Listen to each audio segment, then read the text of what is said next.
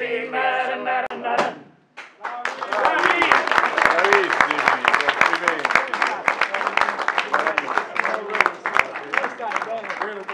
Siete sempre fantastici, mamma mia. Io sono Daniele. Molto molto lieto, eh, che meraviglia, cioè, da- da stare senza